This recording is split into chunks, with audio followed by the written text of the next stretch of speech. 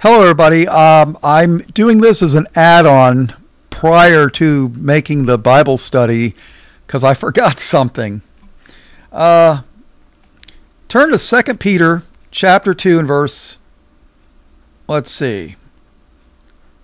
I guess we're going to start in. I guess we'll do first. No, I'm sorry. 2 Peter chapter 2. Uh, we're going to start verse 19. While they promise them liberty, they themselves are the servants of corruption. For of whom a man is overcome, of the same is he brought in bondage. For if after they have escaped the pollutions of the world through the knowledge of the Lord and Savior Jesus Christ, they are again entangled therein and overcome, the latter end is worse with them than the beginning. For it had been better for them not to have known the way of righteousness than, after they had known it, to turn from the holy commandment delivered unto them. But it has happened unto them according to the true proverb The dog is turned to his own vomit again, and the sow, or the pig, and the sow that was washed, to her wallowing in the mire. I don't know how many of you have owned dogs, but I've seen dogs. You know, my dad had over 20 something dogs in the family over the years, and myself and my brother had dogs too. Well, I had a, a dog, but uh, the uh, I've seen them throw it up, throw up, and then a few minutes later they go back and eat it back down. And uh, you can take a pig and you could baptize a pig or washed. And what'll they do? They'll go right back into that mud mud hole and slop around. So uh, this doesn't make any sense yet, but when you get to the end of the next, you know, part two, uh, well, it's it's one continuous study, but uh, yeah, uh, where I do dogs and hogs, dogs and hogs. All right, keep listening.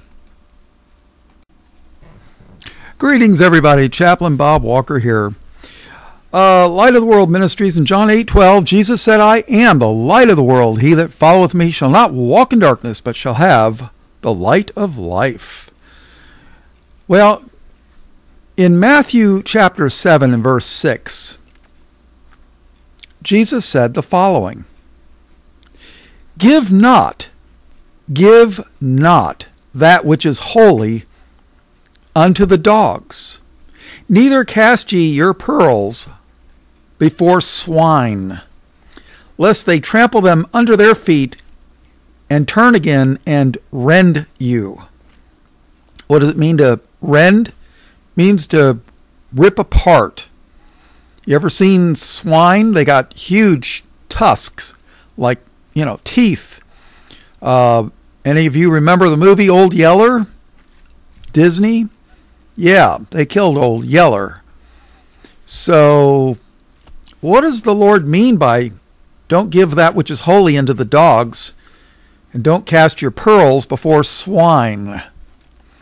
Well, swine, I'm not sure exactly what that means, because usually in the King James Bible, the first time a word is mentioned tells you, uh, gives you the idea for the rest of the interpretation of that word for the rest of the scriptures.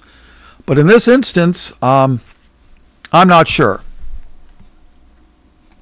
Now, the first time swine appears in the Bible is in Leviticus 11 and verse 7, and it talks about uh, being unclean for food.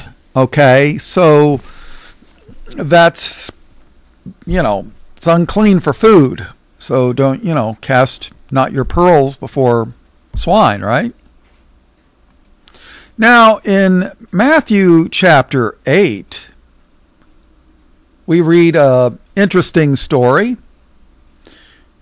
There was a man that was possessed of devils.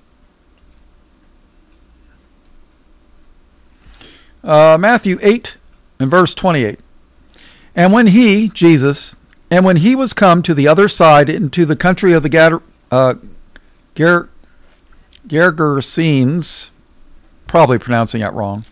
There met him two possessed with devils, coming out of the tombs, exceeding fierce, so that no man might pass by that way. And behold, they cried out, saying, What have we to do with thee, Jesus, thou Son of God? Art thou come hither to torment us before the time? And there was a good way off from them an herd of many swine feeding. So the devils besought him, saying, If thou cast us out, suffer or allow, suffer us to go away into the herd of swine. And he said unto them, Go. And when they were come out, they went into the herd of swine, and behold, the whole herd of swine ran violently down a steep place into the sea and perished in the waters. See, even pigs are smart enough to know you don't want to be possessed of a devil. So, you know, Christ is showing us that uh, they got he's got power over even the unclean spirits, right? And they that kept them fled. Who? The the the swine.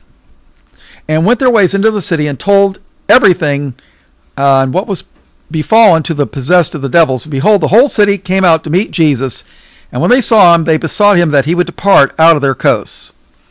In other words, uh, we don't like what's going on here. We're afraid. Could you please leave? That's the Bob translation. All right, so let's read Matthew 7 and 6 again. Give not that which is holy unto the dogs. Dogs, neither cast ye your pearls before swine, lest they trample them under their feet, turn again, and rend you. So, what is a dog according to the scriptures? Well, Deuteronomy chapter 23 and verse 17. There shall be no whore of the daughters of Israel, nor a sodomite of the sons of Israel. Thou shalt not bring the hire of a whore, or the price of a dog, or the price of a dog into the house of the Lord thy God for any vow, for even both these are abomination unto the Lord thy God. This is called parallelism.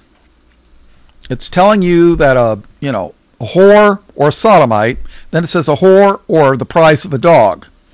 So sodomites are likened unto dogs. So you don't want to take a sodomite's money or a prostitute's money when they throw it into the uh, collection plate because that's an abomination. Oh, Pastor, please pray for me. Uh, why don't you pray for yourself? Cast the sin out of your life first.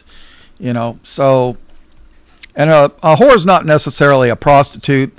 Some girls don't even consider their body even worth money to be paid. I mean, you know, some just give it away for free to anybody almost. Um, I knew a couple in high school. Um, one of my buddies married one, sadly. And uh, yeah, we thought it would be easier to mention the girl, uh, the guys that she didn't know, than the ones that she did. Because, yeah, all I know is she knew a lot of guys over the course of her life. Sadly, they ended up getting a divorce because uh, when she got married, nothing changed. But uh, yeah, I see why the Lord once wanted a guy to marry a virgin. Of course, you know, he should have been one too, but uh, I digress. So, does that make sense? Now, I'm not against evangelism. By no means. I'm not an evangelist. I'm a teacher. There's a difference. Other people have the gift of being an evangelist, and they should, you know, preach. But um, you know, if somebody's proud, if they have a lot of pride on uh, their abomination, well, don't cast your pearls before swine. What can I tell you? So, that's uh, that's the end of this story. So, all right, all blessings, praise, glory, and honor to God the Father and His only begotten Son, Jesus, who is the Christ, the Lamb slain from the foundation of the world. All blessings, praise, glory, and honor to Him and Him alone. In Jesus' name, amen.